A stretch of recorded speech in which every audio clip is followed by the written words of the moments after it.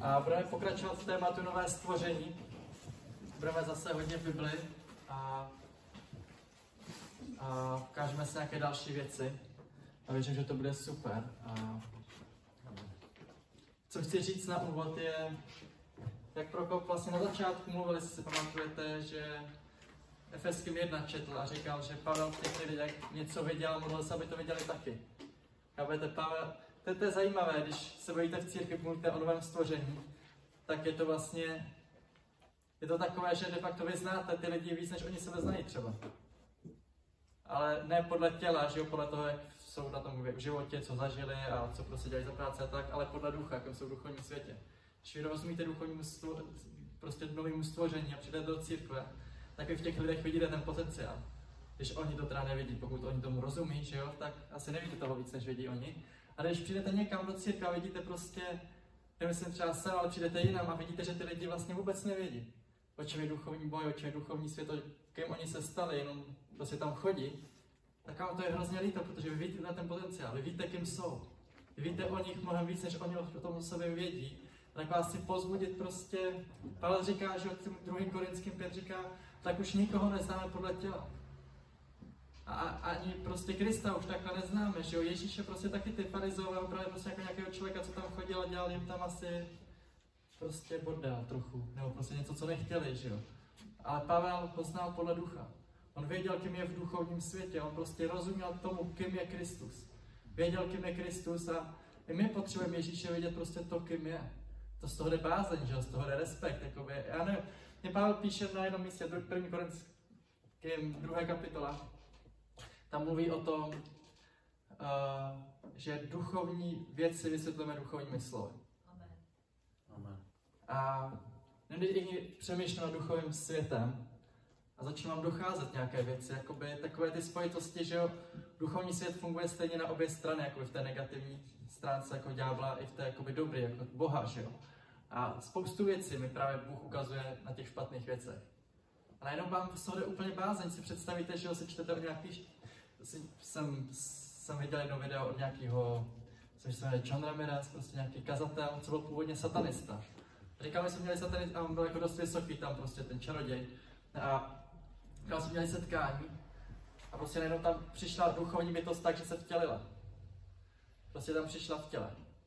A najednou vy vyčte, a si říkáte, fuha, teď si představte, že by takhle sem přišel někdo, že jo. A z toho jde prostě respekt už sám o sobě, že jo si říkáte, to se normálně neděje. A teď si čtete o Ježíšovi, že on přišel v těle.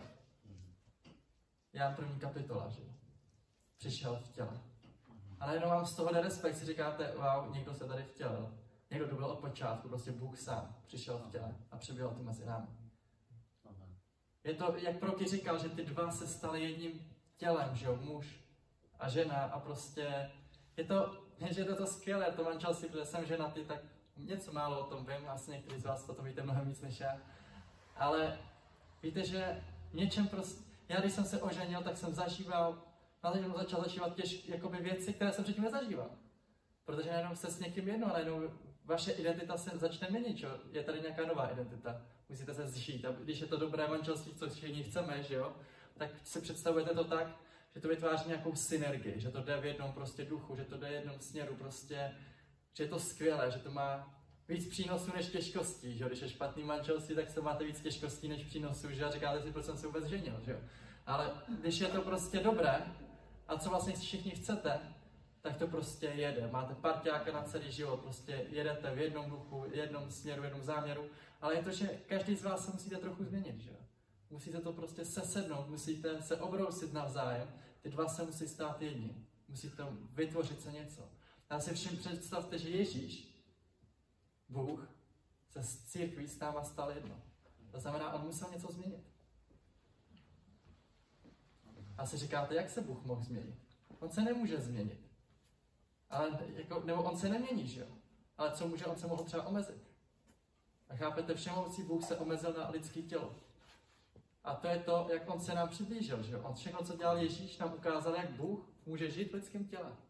A ukázal ten potenciál, protože on najednou se omezil na naši úroveň. On prostě ze svého božství kousek, neříkám, že usekl nebo se zřekl, ale omezil se. Na to lidské tělo. V tom lidském těle jste limitovaný často asi na to, kde třeba působíte. Že? Můžete se modlit za kde co, že na světě, ale fyzicky ovlivníte jenom to tam, kde jste. Že? Další věc, je psaný, že Bůh nemůže být pokoušen. Ale Ježíš přišel do lidského těla a je psaný, že prošel všema pokoušeníma jako my, ale bez hříchu. On začal zažívat věci, které on nikdy předtím vlastně nemusel řešit. Ale ustál to všechno, ale přiblížil se k nám, aby, nám, aby mohl pomoct těm, kteří jsou pokoušení. Že? Najednou on nám rozumí, díky tomu on nám rozumí. Že? Jenom vy máte někoho, kdo prostě vás dokáže dokonale vykoupit, máte dokonalého velekněze, který je podroben stejnýma těžkostma, věcma, jako my jsme prošli, nebo procházíme. Ale víte, že on vám dokáže pomoct. On je soucitný, protože on tím už prošel před námi.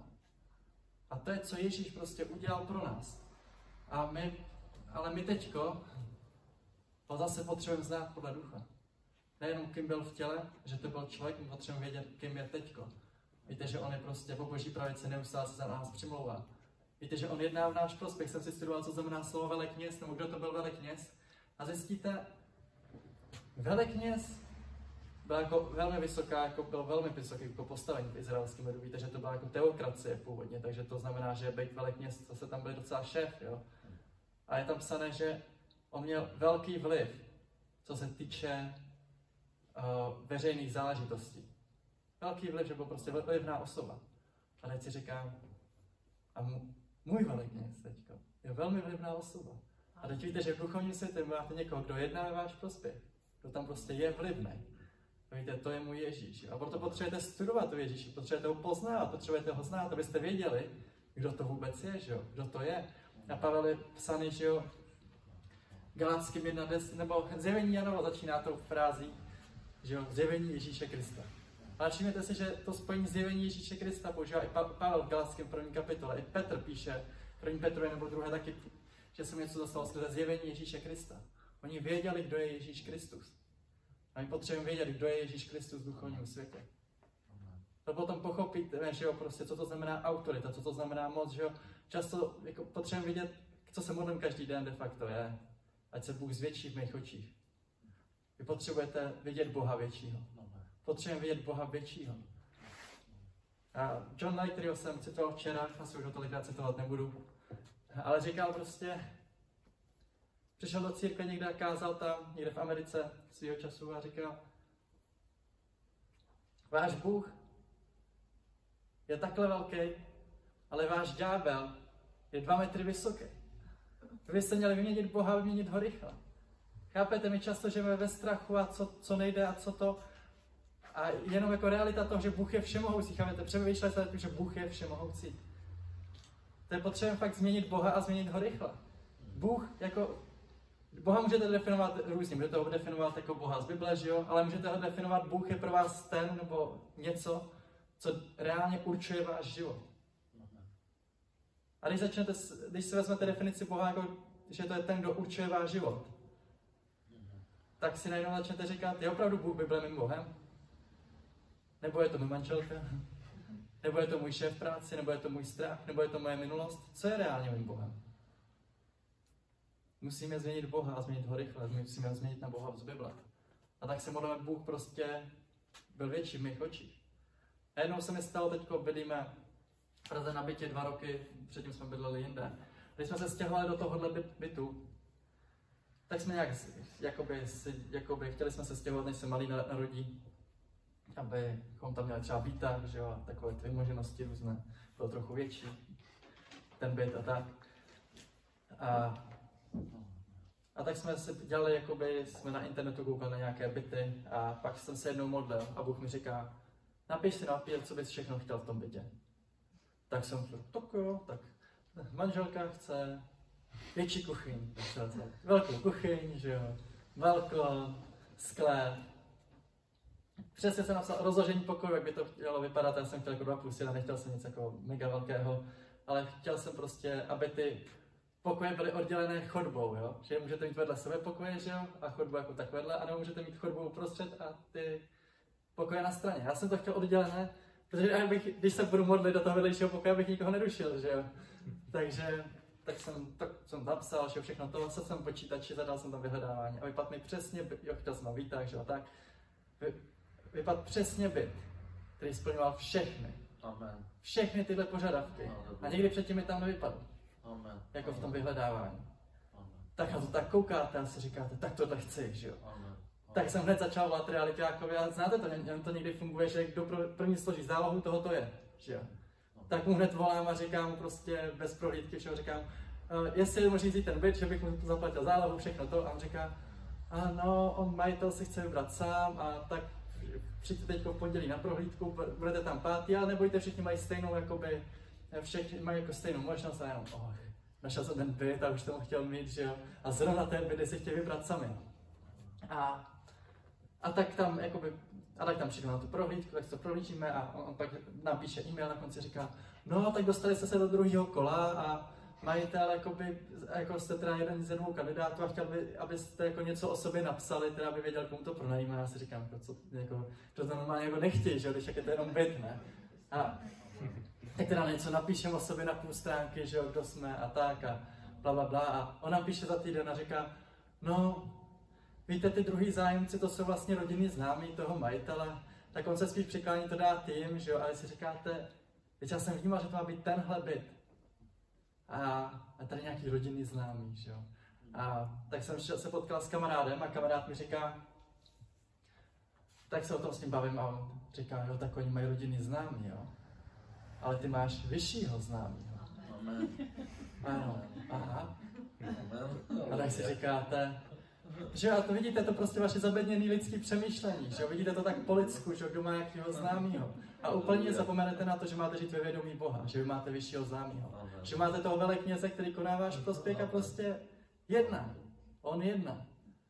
Tak jsme se modlili. Já jsem se modlil a vnímal jsem prostě, jako by krom toho, že jsem si řekl, tak mám teda vyššího známého, jsem měl takový obraz, jako že prostě ďábel nás fakt na tom místě na Žižkově, kde byl ten byt, jako nechce. A jsem měl takové tornádo, které nás má jako to prostě zabránit, abychom tam přišli. A tak jsem prostě, a tak jsem si řekl, jo, tak máme vyššího známého, když nám Bůh ukázal ten byt, bude to ten byt. A postupoval čas, ono se to furt stáhlo, jo. to vypadalo, že to dostanou oni a my jsme už neprodloužili smlouvu na starém bytě, už to bylo, že za týden jsme se měli vystěhovat, my jsme pořád to neměli podepsané, nic nového, ani to bylo, ani nic jiného. A, a tak. A nakonec se dopadlo, že týden předtím, než jsme se měli vystěhovat, mi volá tady realiták a říká mi, no víte, jsme měli zítra podepisovat smlouvu s těma rodinnýma známýma, ale oni se nakonec našli něco jiného, tak jestli ten byt nechcete vy. A chápete, prostě to byl den před podpisem smlouvy, já mu říkal, dokud to není podepsaný, že nic není podepsaný prostě, že jo. To jsem si přesně říkal, ještě to nepodepsali, ještě se může stát cokoliv. Chápete, máte vyššího známého. Máte vyššího známého, potřebujete žít ve vědomí jeho. To je to, co znamená chodit ve míře, že jo? To je, vy můžete žít prostě vědomí si sebe v tom životě, anebo být vědomí Boha. Potřebujete, potřebujeme každý z nás žít v tom, že jsme vědomí Boha. To je chodit reálně podle ducha. Amen. Že vy prostě žijete podle toho, který žije ve vás. Jakoby reálně ve vašem těle jsou dva, jo? Jste vy a je tam duch svatý. A jenom jeden může žít. A on bude žít ten moment, když my jsme mrtví jak jsou cibuli, jak jsme si říkali včera. Buď to naše cibule musí být pořádně rozkrájená. Je prostě ta boží vůně, šla z toho života, abyste si to byli vědomí. A pojďme zpátky k novému stvoření.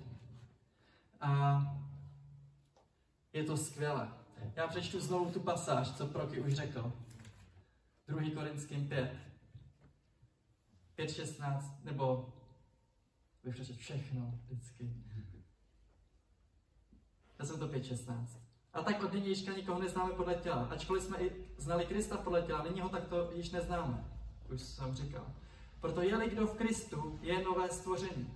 Staré věci pominuli, hle, je tu všechno nové a to všechno je z Boha, který nás smířil sám se sebou skrze Krista a dal nám službu smíření.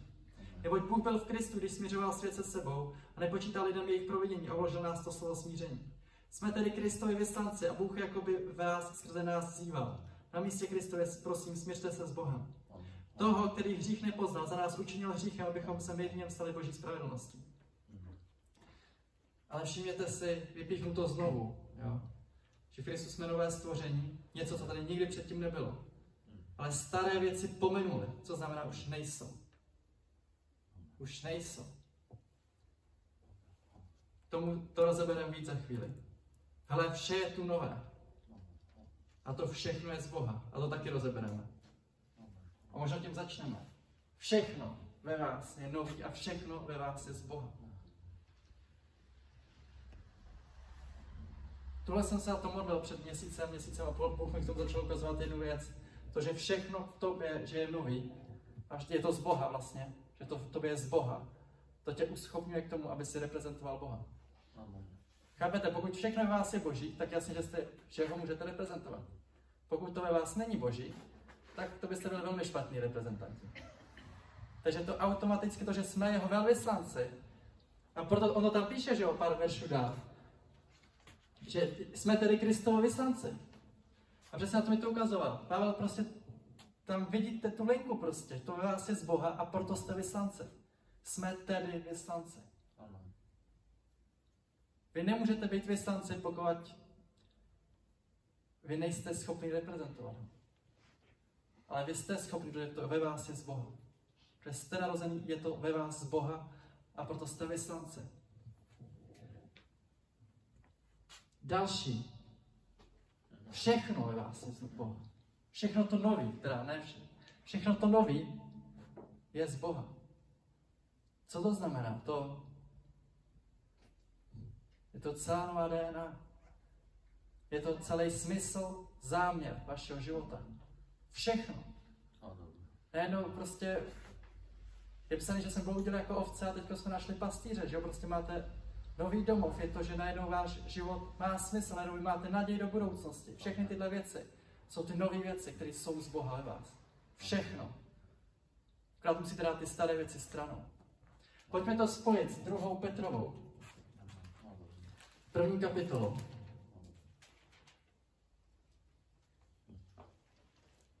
Od druhého verše. Milost a pokoj, kež se vám rozhojí v poznání Boha a Ježíše Krista našeho Pána. Takže je tu evidentně aspekt toho, že milost a pokoj, o čem je nový život, že vy žijete milosti a v pokoji. Jo? A že tyhle věci v tom se rozhojujeme skrze poznání Boha a Ježíše Krista.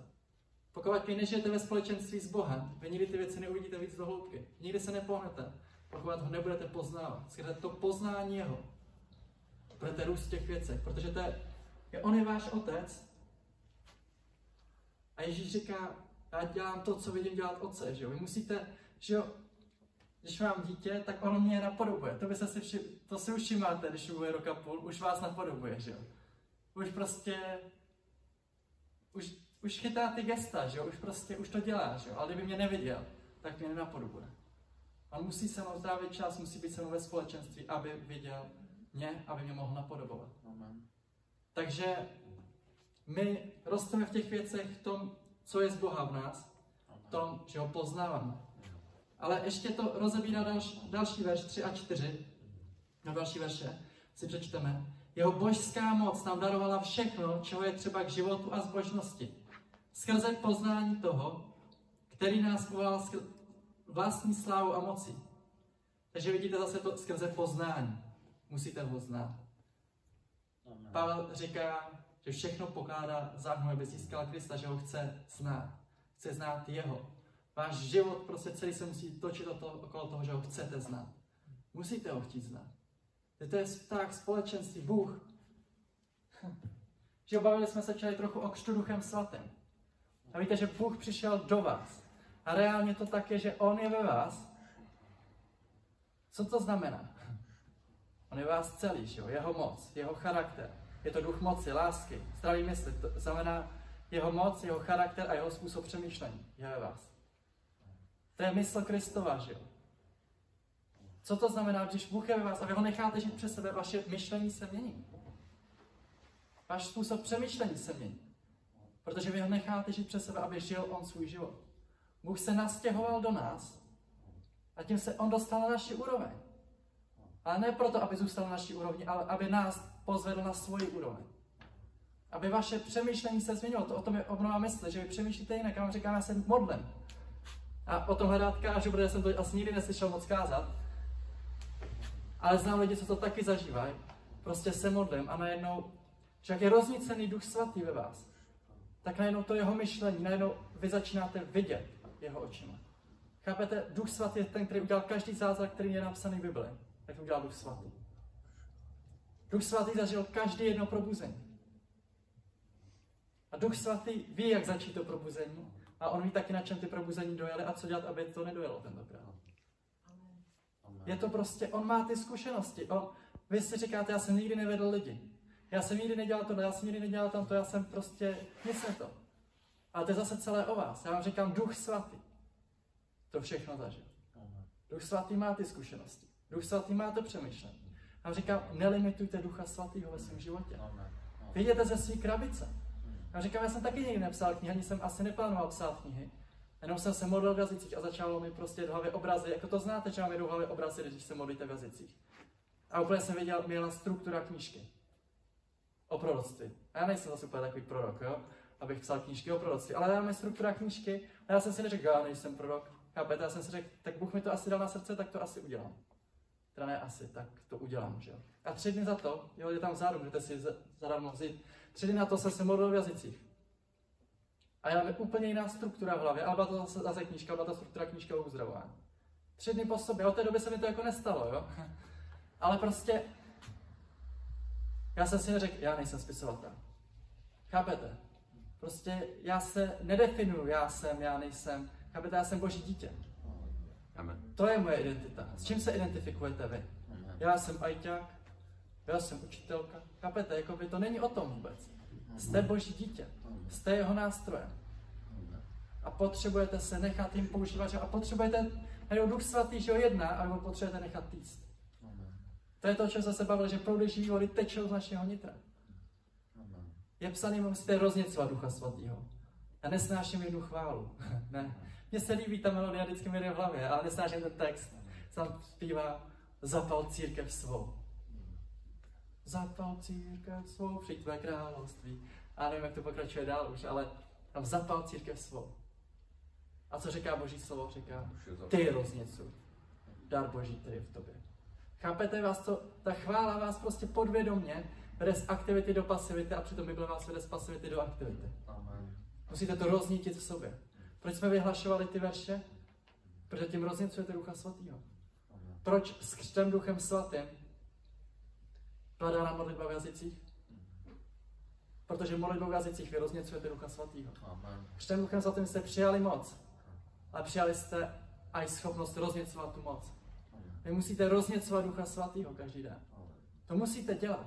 To je to, že jak rozněcujete Ducha Svatého kázáním, modlitbou, eh, ka, uh, vyhlašováním veršů, chválou, vděčností. Že tím, že remcáte se neustále v nevíře, tím nerozněcujete Ducha Svatého. Zkuste se odnaučit být nevděčný. Ale to neříkáme, že jste nevděční a neříkám prostě vadí mi to. Chápete, ale jenom ten postoj, že vám něco vadí, jo, to prostě takové, máme být vděční za všech okolností. Zkuste, zkuste se naučit být vděčný. Zkuste, zkuste se prostě, když vám je těžko chválit Boha. Zjistíte všechno, že všechno to, když nejste vděční a když nechválíte Boha, tak je to, že jste v tom myšlení, že jste zaměření na sebe. Že to je těžký, že tohle, že tamto. Nebo začnete chválit Boha, děkovat mu. A já chápu, že je to těžký. Někdy. Ale řeknu vám, je to vždycky o tom, jestli vy zůstáváte ve vědomí sebe nebo ve vědomí Boha. K tomu to je, v tom je vděčnost a chvála. K tomu vás to vede, abyste si byli vědomí Boha. Když se modlíte v jazycích, rozněcujete Ducha Svatého, jste si vědomí Boha. Začnete kázat na ulici, když se vám nechce, a najednou co se stane? Otevře se rozhovor, vám začnou přicházet svá poznání a najednou jste si vědomí Boha. Úplně zapomenete na sebe. Amen. Je to celé o tom prostě zůstat v těle nebo v duchu. O tom je nové stvoření, že my jsme, že jak Proky říká, to je prostě, až, nebo jak jsme říkali, prostě to realita v duchu. Amen. Ale musíte chodit v duchu.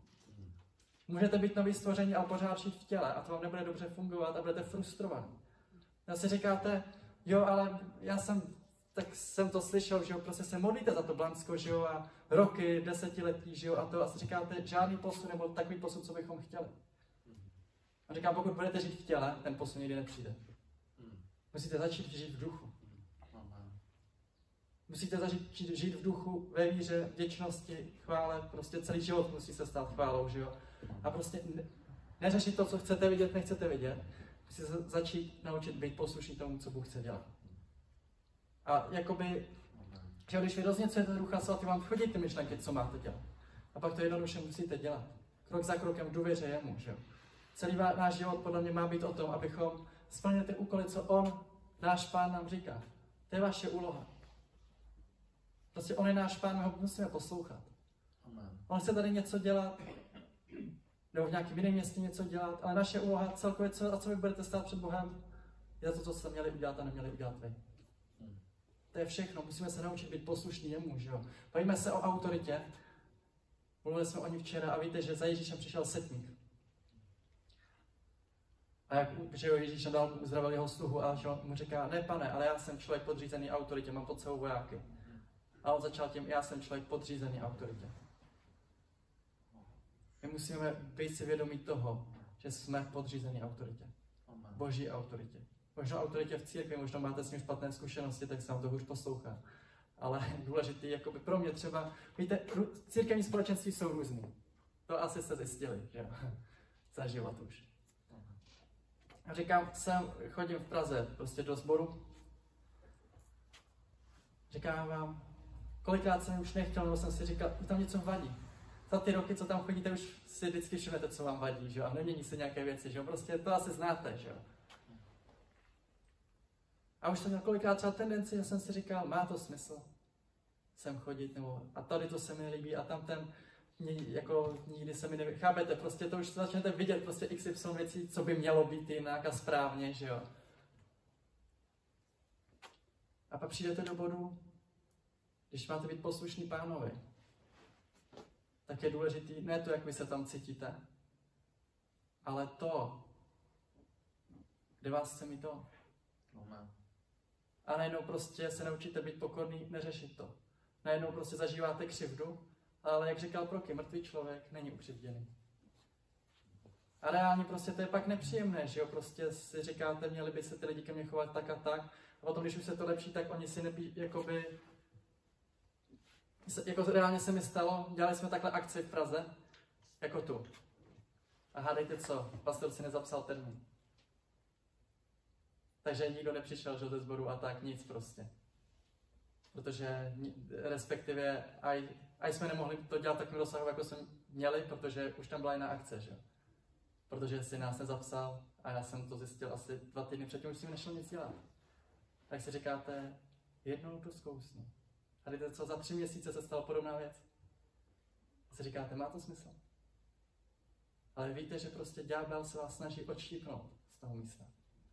Musíte vědět, že prostě máte být tam, kde vás Bůh chce mít. Důležitý je prostě být tam, kde vás Bůh chce mít.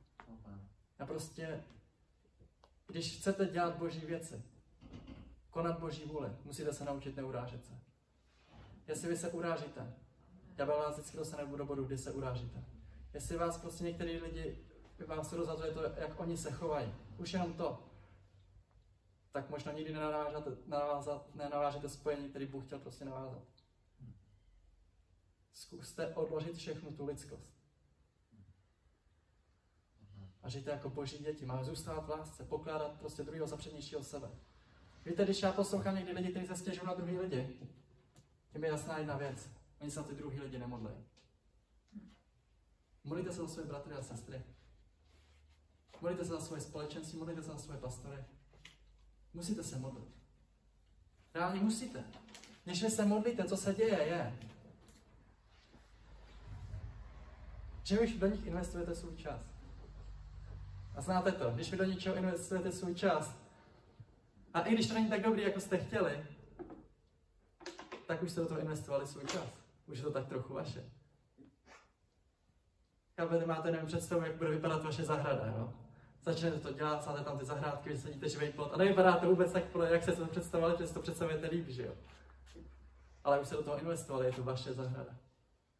Musíte se modlit za sebe navzájem, musíte zůstat v modlitbě, musíte být vděční za sebe navzájem, musíme zůstat v lásce. Je to...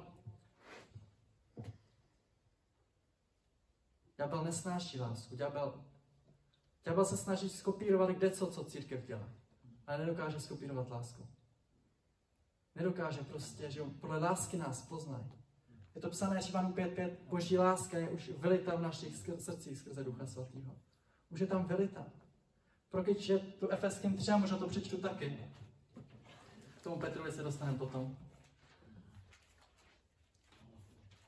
A říká tam, z toho důvodu, 3.14, klikám na kolena před, bo, před Otcem našeho Pána Ježíše Krista, po němž má své jméno každá rodina v nebesích i na zemi, aby vás podle bohatství své slávy posílil mocí skrze svého ducha na vnitřním člověku. Aby Kristus skrze víru přebýval v vašich srdcích, abyste byli zakořeněni a založeni v lásce. A tak, abyste byli se všemi svatými schopni pochopit, jaká to šířka a délka a výše a hloubka a, poznali, a poznat Kristovou lásku, která převyšuje poznání a tak byly naplněni až do, veš, do vší plnosti Boží. Tomu pak, kdo je mocen podle síly, kterou působí v nás, učiní daleko více nade všechno, co žádáme nebo co si můžeme pomyslet. Jemu buď sláva v církvi a v Kristu Ježíši po všecká pokolení věčnosti věku. Amen. Amen. Takže tu říká, 16. verš. Aby vás podle bohatství své slavy posílil mocí skrze svého ducha na vnitřním člověku. Amen. Láska je jenom pro duchovně silný lidi. Jestli chcete fakt milovat lidi a být stabilní v tom, že milujete lidi, musíte být silné osobnosti. Silný v duchu. Bůh je silný, proto nás všechny zvládne milovat. Ale tak poznáte prostě silného člověka v duchu. Že on dokáže milovat lidi. Že on snáší lidi. Chápete, je to, co hodně změnilo můj pohled na věci, je, když jsem začal vidět svůj život jako misi, jako poslání. Že jsem vyslanec nebe na zemi. Že to je to, o co tu jde. A když máte misi, máte poslání, všechno ostatní jste schopni podřídit té misi. Proto jsem schopný, že jo, neurážet se. Nebo tak ne vždycky mi to jde stoprocentně rychle, ale snažím se zlepšovat, že jo. Ale proto to prostě ve výsledku prostě zkousnete. Zkousnete ty věci, že jo, prostě proto, proto dokážete, lidi jsou různé, my v týmu máme taky různý lidi. A vy už to prostě ani neřešíte. Prostě některé věci přecházíte. Neřešíte ty blbosti, neřešíte, že tenhle to dělá takhle a tenhle to myslí zase takhle. Prostě důležitá je ta vize. Důležitý je, co z toho jde. Důležitý je, že máme zjevovat lásku. To je, to je to důležité. To je to, co vám pomáhá zůstávat mrtvý. Je to, že víte, jde tady o něco víc, než jenom o mě a moje ego. A že já si to představuji takhle. Vlastně už vůbec nejde o vás, jde o boží záměry, o boží království. Že? 2. Korinským 5.15, verš předtím, než jsme četli, je psané, že on za nás zemřel, abychom my nežili pro sebe, ale žili pro něj. My potřebujeme žít pro něj. Ježíš nějaký účel, něco viděl, nějaký záměr toho, proč on prostě to dělal ty věci a to bylo, abychom my žili pro něj. Aby si nás získal, tou láskou si nás získal. Víte, jak vy si získáte druhý lidi? Láskou. Láska je ta největší hybná síla v celém vesmíru. Je tam samé Pavel se modlil, abychom poznali výšku, šířku, dílku i hloubku Boží lásky. To je ta, láska už je dávno v nás. Je psané, že je velita v našich srdcích. Jenom ta naše cibule potřebuje rozkrájet. Že? Potřebuje se uvolnit, ta láska. Jak, a vy jste schopni milovat podle mě jenom do té míry, do jaké vy rozumíte lásce. Do jaké vy rozumíte tomu. Musíte strávit s Bohem čas. Ptát se ho. Výška, šířka, dílka, hloubka. Šířka pro mě to, jak jsem vám říkal včera to svědectví s tím samíkem, že já jsem viděl toho jednoho samíka v tom autě a Bůh mi začne říkat, já miluji všechny ty lidi. A jenom si říkáte, bude úzkoprostý přemýšlení, že? No vidíte, že to je šířka nějaká. Hloubka, to je znamená do jaké míry, že? do jaké hloubky. Výška, šířka, dílka. Dílka pro mě zahrnuje celý váš život. Celý život, celý lidstva, že jo? Prostě to je nekonečný. A výška, to já nevím, to musíte se modlit a přijít na to sami, že? A možná jsem to neřekl úplně přesně, možná to je úplně jinak, ale tohle mi dávalo smysl. Ale to potřebujete znát Boží lásku. Potřebujete znát Boží lásku, zjevovat Boží lásku. A to není, aby se se na všechny usmívali, že Pořád. Můžete je napomínat, můžete je usměrňovat, ale když, vám, když to děláte z lásky, ty lidi to cítí. Ty lidi vnímají, že máte rádi. Ty lidi to cítí. Možná to ne vždycky ocení. Možná vám to řeknu až o pár letech, že to vlastně oceňují. Ale vy víte. Vy to prostě poznáte na sobě, když to ty lidi neberou. Že víte, že jste dělali z lásky, že to nebylo, že vám prostě vadili. To prostě milujte se navzájem. Je to prostě nové stvoření, o čem je, bychom se stali láskou. Abychom se stali láskou. Abychom zjevovali lásku. O tom manželství, já se bavím s různými párama, že ne všichni to mají jednoduché v manželství. Já jsem taky neměl vždycky jednoduché. Ale co, čemu jsem došel je? Láska je o rozhodnutí. Vaše. Že budete milovat. Láska nikdy není odvozená od těch druhých lidí. Prostě vy jste. Jsme se u toho, že křesťanství o tom být. Že vy jste se rozhodli milovat. Tak se na vás ty bratři a sestry v církvi neusmívají. No. Tak ať se neusmívají, jestli stejně budete milovat. A to je jste úplně svobodní od nich. Oni, chápete, pokud to, jestli se na vás někdo mračí nebo usmívá, určuje váš den, tak vám říkám, Ježíš není váš pán. Ten člověk je váš pán. Jestli Ježíš je váš pán, tak on určuje váš den. O tom to je. Přemýšlejte trochu nad tím, co to reálně to Bible znamená. Jestli on je můj pán, tak to znamená, že on určuje můj den. A to je silné. Vy jste úplně svobodný od všech okolností. Bavili jsme se včera na závěr, trochu jsem to zmínil, ten verš Galackým 4, že jsme byli otroky pod živly světa a teď jste svobodní. Chápete, o tom je ta svoboda, vy jste svobodní od okolností. Vám to je jedno, že vám se nás vedli nájem. Vám to je jedno, že vlastně za týden nevíte, kde budete bydlet. Že Ježíš je váš pán. A on určuje váš den, ne ty okolnosti. Musíme se naučit žít nad tím. Musí on nám být větší, než to, co my vnímáme ve fyzické realitě. To je o tom být prostě v duchu a být duchovně silný. Že vy věříte Boží slovo. To potřebujeme vyrůst. A o tom je ta cesta, že vy se učíte důvěřovat Bohu. Nikdo podle mě ne, nezačal tak, že by věděl a věřil všechno všemu, prostě Bible. Ale když vidíte, že Bůh je dobrý, On si vás získá. On si vás získá. A je to jenom na nás, do jaké míry, jak intenzivně, jak rychle my se budeme podávat. Jak my to moc budeme chtít. Já říkám, chtějte to a chtějte to hned. Je to prostě, lidi chtějí, já nevím, proč nechtějí žít, podle mě mají o něm špatný obrázek, to je to. A proto oni čekají na zjevení božích synů, že aby jim někdo dal dobrý obrázek. To je dneska jsem nad tím zrovna přemýšlel, co jsem tu seděl. Protože čtu Bibli v posledních dnech a najednou to ke mně mluví úplně jinak, nebo čtu nějaká kázání, studuju prostě, no to ke mně mluví úplně jinak. A najednou mi dochází, proč jsem to předtím neviděl, bylo to, že jsem neměl žádný příklad, doby to žil.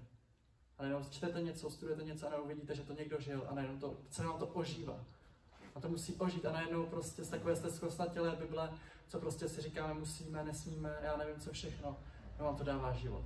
A si říkáte, jak jsem tu v Bibli mohl číst tak špatně před. A najednou to vidíte, prostě začínáte poznat a najednou vidíte, co tam máte vidět, a to všechno dává smysl. A je to tady v 2. Korinském, jdeme tam zpátky. Ta 2. Korinském, 2. Petrově bylo psané, že skrze ty zasíbení máme účast na boží přirozenosti. To je to stejné, jako že všechno v nás je z Boha. To je prostě vaše DNA se změnila. Vaše DNA je z Boha. Já jsem se bavil s kamarádkou s bioložkou. Jo? Študovaná holka má doktorát. Jo? A, a mi říká, v DNA je zapsané všechno už. Všechno. Ale ne všechno. Ale když máte malé dítě, tak ne všechno z toho DNA se vlastně projevuje na tom fyzickém těle ještě. Ale jak prostě to tělo, jak ten člověček malý dospívá, tak všechno se postupně dává prostě, začíná projevovat. Že třeba začnou se některé kosti spevňovat, že to víte, že třeba tady na hlavě je to nejdřív měkký, pak to stvrdne, takový jednoduchý příklad. Pak některé kosti začnou osifikovat, že prostě jako začnou to spevňovat celé. Jakoby, že všechno se to začne vidět, ale v tom kódu už to všechno je. A na tom těličku to není všechno vidět. A, důležit, a říká, některé věci se z toho DNA ani nerozvinou. Protože, myslím, že říkal, že přesně kvůli nějakým okolnostem životním nebo něco prostě je možný, že se to ne všechno rozvine. Já vám říkám prostě, máte boží DNA. Amen. A musíte to nechat rozvinout. Jak to rozvíjíte? Přesně tím vyhlašováním toho slova. Je psaný, o nás je totiž psané. Je to na dvou místech, myslím, je to Jakubovi první kapitole a pak ještě v první Janově tuším. Je psané, že jsme narození, ne, je to v první Petrově 2. Ne, konec první. Konec první Petrově první kapitoly a jako první kapitola je psané, že jsme narození ze slova. Z božího slova.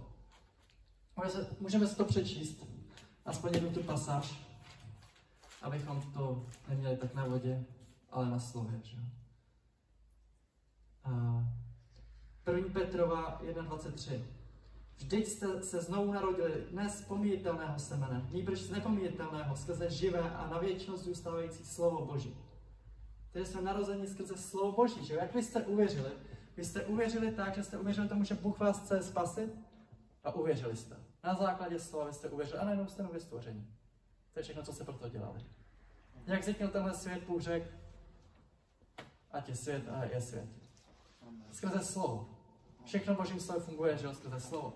Jenom vy jste narození z toho slova, vy právě tím vyhlašováním slova, přemýšlením nad tím slovem, konáním toho slova, vy dostáváte to slovo z té DNA, co možná není vidět na vašem životě do toho, aby to bylo vidět.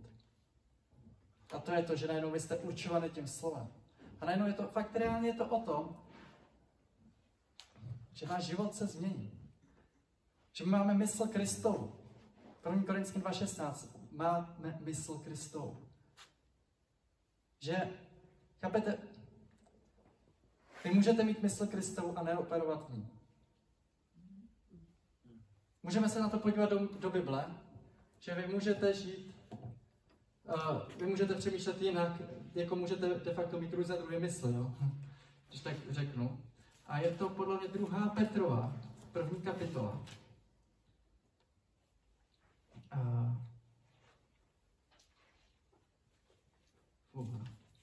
musím to najít. Uh,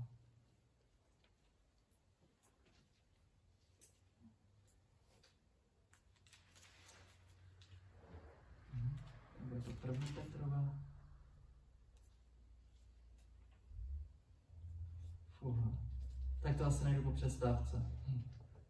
Ale každopádně tam Petr říká, že si přece vzal, že on bude probouzet jejich čistou mysl. Znáte někdo tu pasáž? Že si bude probouzet jejich čistou mysl? Ne, taky musíme ji najít, je to první Petrova nebo druhá tak kdo to budete mít, že Petr probouzí jejich čistou mysl, tak dejte vědět.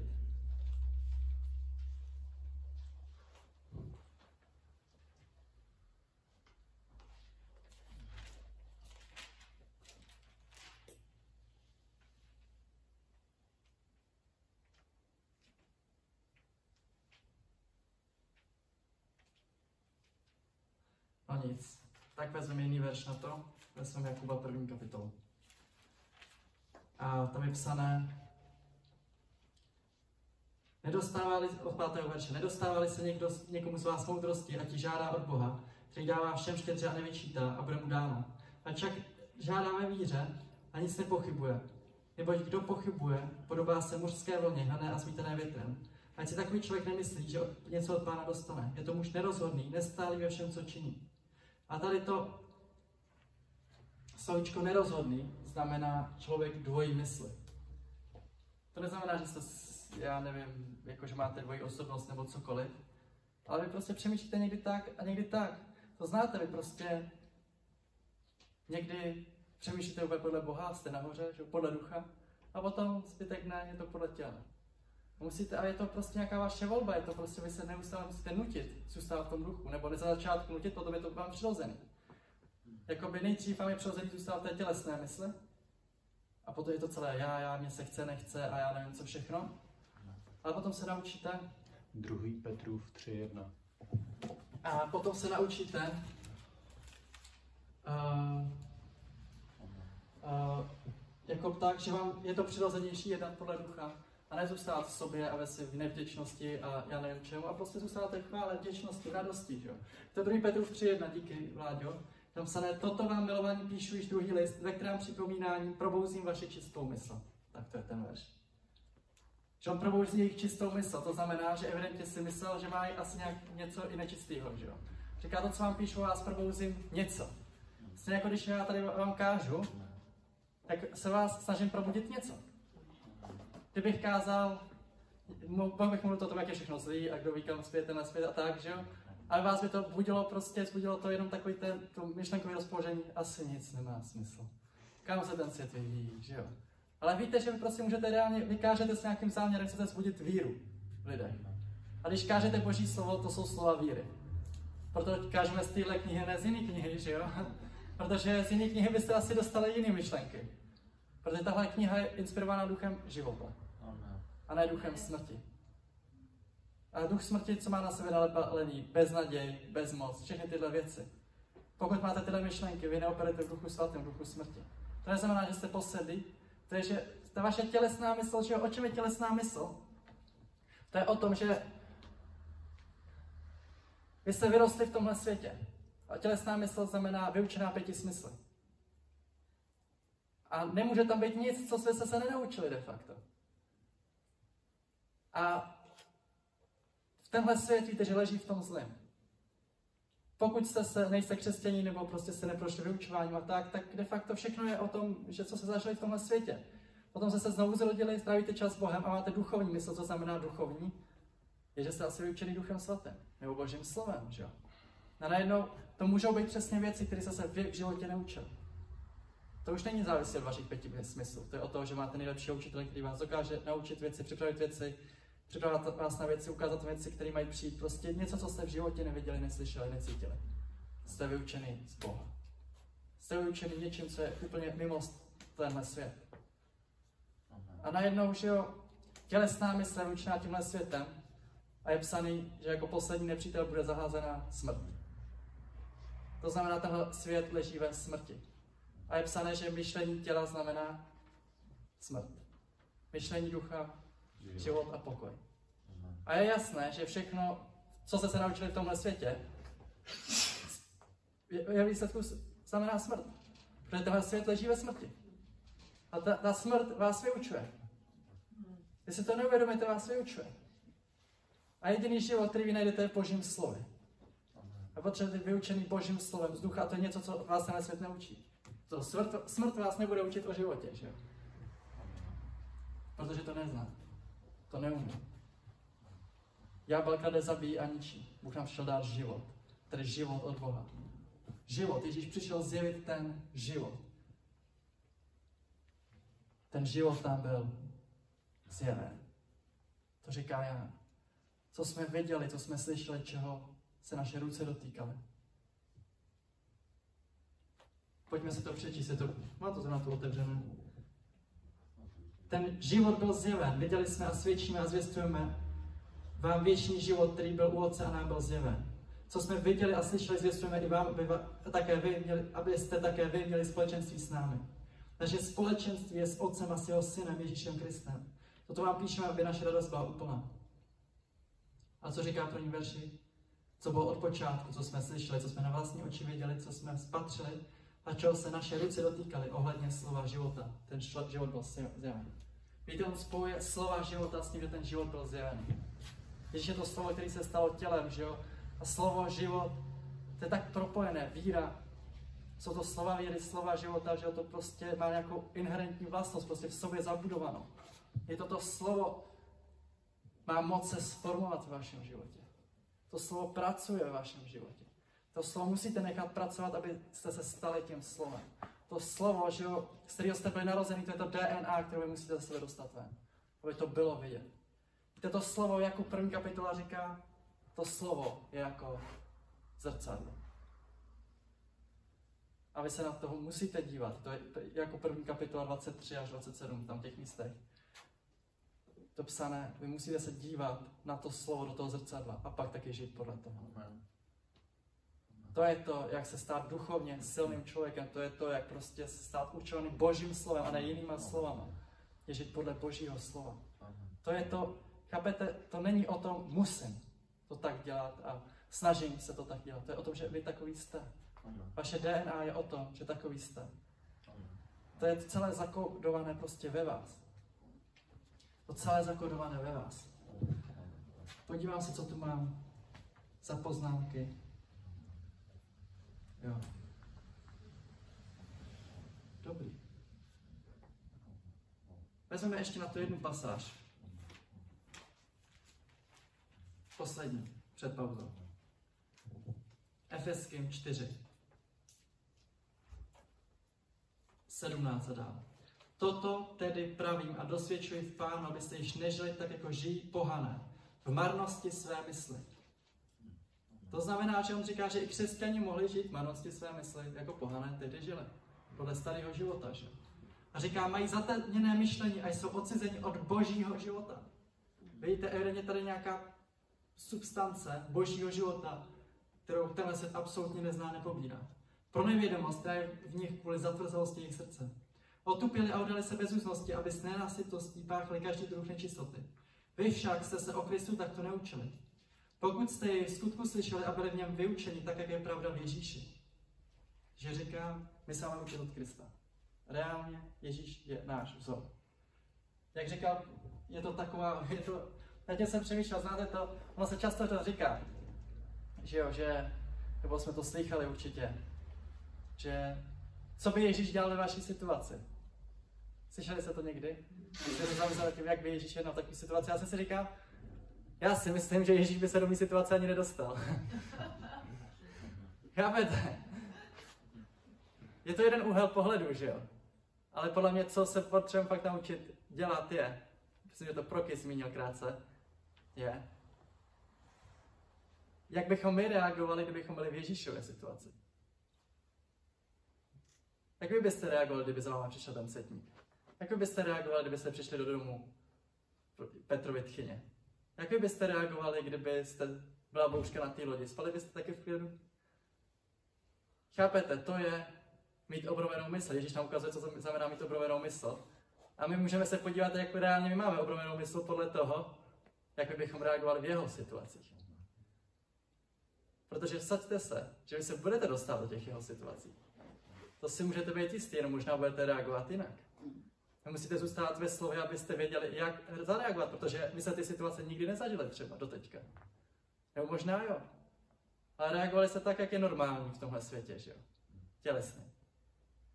Ale potřebujete se naučit reagovat, tak je reagoval Ježíš. Být vyučený podle něho, že jo? A další verš říká, že máme odložit toho starého člověka, který žije podle dřívějšího způsobu života a hyne v kamných žádostech. Víte, hyne v kamných žádostech. Obnovovat se duchem své mysli, je tady nějaká proměna. Obnovovat znamená vrátit se do původního stavu. A obléknout toho nového člověka, který byl stvořen podle Boha. Vidíte zase, stvořen podle Boha. Je to absolutně podle Boha. Jak? Ve spravedlnosti a svatosti pravdy. Je psané, že jsme narození ze slova, narození z pravdy. A vidíte zase, tady ten verš mluví o tom. Je tady nějaká nová DNA, kterou máte. Vidíte, viděl to Jakub, říká jste narození ze slova. Viděl to Petr, říká jste narození ze slova. Vidí to tady Pavel, říká, vy jste narození z Boha. Je to všechno, ty apoštolové to viděli. Viděli to, vy jste noví. To slovo je vaše zrcadlo. Musíte se naučit reagovat podle toho, žít podle toho. Říká Petr, probouzím vás vaše čistou mysl. Dělejte to, znáte to, potřebujete někdy pozbudit. Co je nejlepší, naučit se pozbuzovat sám, že jo? To se úplně nezávisí od ostatních, ale myslím si, že věřím, jako, že Bůh počítá s tím. Že ne vždycky nám to jde, nebo nejsme tak zralí na to, že jo? Nebo něco, nebo na to nemyslíme. A proto jsme tělo Kristo, jsme církev, jsme tým, jsme rodina, že jo? Se mi to někdy děje, upřímně, se těším, až se potkám s některýma svýma kamarádama, třeba na oběd nebo tak, protože si říkám, protože jsem prostě, nevím, z práce nějaký takový rozhozený nebo něco, že jo, nebo nerozhozený, ale takový jako prostě práce, že jo, tak ne vždycky jsem z toho úplně nadšený, že jo, jak bych asi měl být, si říkám, až se potkám, oni určitě pozbudějí. Znáte to někdo? Říkáte, že znáte lidi, kteří víte, že vás určitě pozbudějí. Že jo? A těší se zase na to setkání s nimi. Ale si říkám, já chci být člověk, který ty druhý pozbuzuje, že jo? Nechci být jenom taková vyžírka, která se vždycky nechá pozbudit, že jo? Protože zase si říkáte, znáte ty lidi, kteří vás vždycky táhnou dolů, že jo? A s těma ne vždycky rádi trávíte čas. Já říkám, jak se ten člověk, s kterým rádi lidi tráví čas, že jo? Ale to musíte nějak jako něco pro to udělat, že jo? Musíte zůstávat prostě v duchu. A tak, no. Takže necháme to tu. Je jasný, že jsme narozeni z Boha. Jsme narozeni z Boha. Musíme se posilat to, aby to všechno bylo vidět. Ale že je to na nás, hrozně svatého Ducha Svatého, je to na nás zůstát v tom slově. Je to, je to na nás, že teď slyšíte nějaké slovo a podobenství o sevači, co říká. Hned přichází nepřítel, aby ukradl to slovo z jejich srdcí. To napsaný hned. A jak to dělá? Skrze okolnosti, které jsou v úplném rozporu s tím, co jsme teď říkali. Že prostě přijdete domů a někdo vám hned dá najevo, že vy jste pořád jenom vy. Chápete? To je přesně to, co vám hned ukradne pravdu o novém stvoření. Pravdu o uzdravení vám ukradne hned nějaká nemoc třeba. Pravdu o zaopatření hned, že najednou máte dluhy, že jo. Prostě chápete vždycky opak toho. Ale musí to, slovo sobě živit, zůstávat v tom.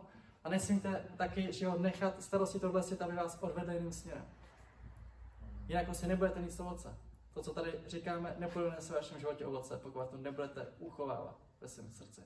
Pokud to nepřijmete, neporozumíte tomu a nebudete to uchovávat. Když přečtete Evangelia napříč, podobenství o rozsevači, zjistíte, že říkají přesně to. Potřebujete přijmout to slovo, porozumět mu a uchovávat ho. Proto možná procházíme některé věci ze předu dozadu, točíme se okolo stejných věcí, protože si chceme být jistí, že tomu porozumíte, že tomu rozumíte. Protože jenom to slovo, kterým rozumíte, nese nakonec užitek, nebo má ten potenciál. Tak dáme pauzu, nějakých 5-10 minut a budeme pokračovat.